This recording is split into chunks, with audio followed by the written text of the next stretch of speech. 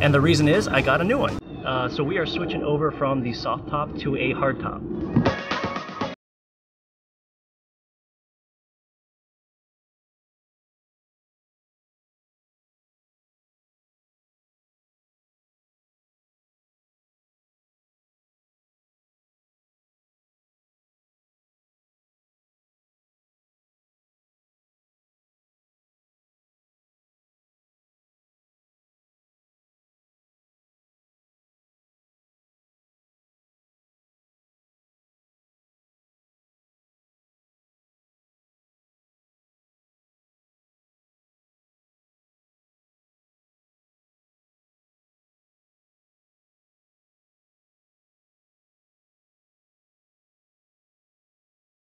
The cover I replaced the Yita Motor soft top with is the OEDRO trifold cover. The trifold cover has three aluminum panels uh, and the sides are double layer PVC.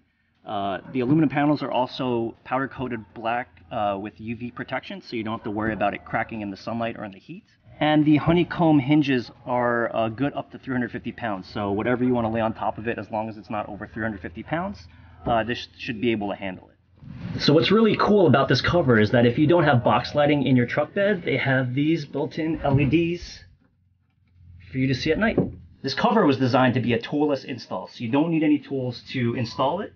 Literally, there's a, just a bunch of different tension knobs here that you need to figure out, and then you have access to your truck bed.